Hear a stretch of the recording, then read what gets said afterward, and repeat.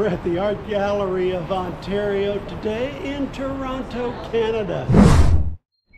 This place is huge. The building complex takes up 480,000 square feet of physical space, making it one of the largest art museums in North America. It was established back in 1900 and today there are over 120,000 works in the museum collection. This is a beautiful museum and here are the top 15 works outside the building and inside the building.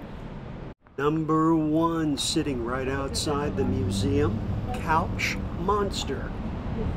It was made by Canadian artist Brian Jungen from old leather couches.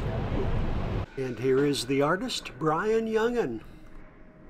Number two from South Korean sculptor Hae Wang. This most unusual sculpture sits above the cafeteria inside the building.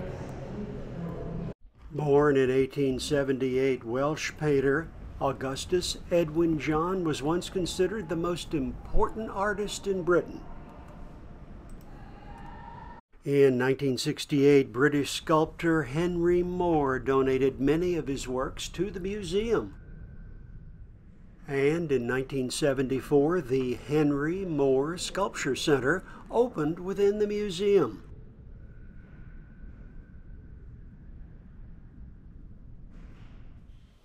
And here is Henry Moore. Number five, this beautiful work, Andromeda, is from French printmaker and painter Marie Laurencin. She was born in 1883 and died in 1956. Number six is from Suzy Lake, an American Canadian artist based in Toronto. And in case you were wondering, this is a photograph. And speaking of photographs, here's one of Suzy Lake. Number seven, Etretat is a region in Normandy in northwest France. Number eight is a beautiful landscape by Pierre Auguste Renoir. Alfred Sisley was an Impressionist landscape painter who was born and spent most of his life in France. Although the person in Rembrandt's painting is not clearly identified, many feel it is Rembrandt's daughter-in-law. Number 11, Flemish artist Peter Paul Rubens was born back in 1577. His painting is from the Gospel of Matthew, in which King Herod orders the execution of all male children under two years of age. Number 12, a couple of paintings from Pablo Picasso.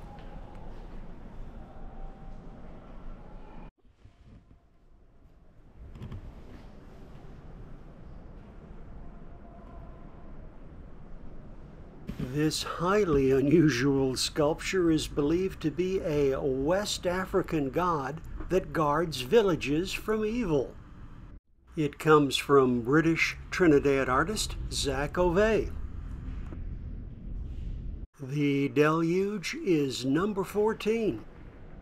This painting is about colonization and indigenous resilience. This powerful painting is from Cree artist Kent Monkman. And number 15, last but not least, a Vincent van Gogh.